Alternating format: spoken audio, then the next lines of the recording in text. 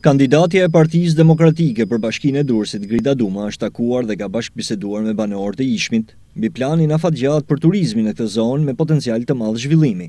Duma tha se nuk do të lejojë më betonizimin e bregdetit, por do të shkohet drejt agroturizmit. Kam thënë që nuk lejoj më betonizimin e bregdetit. Do shkojmë drejt agroturizmit dhe drejt turizmit resorteve me 2-3 kate maksimumi, me hapsira të gjelbra që shkojnë të gjitha jo mur detit, vertikal drejt detit, shikojnë detin, në Durrës nuk shikon më detin njeri,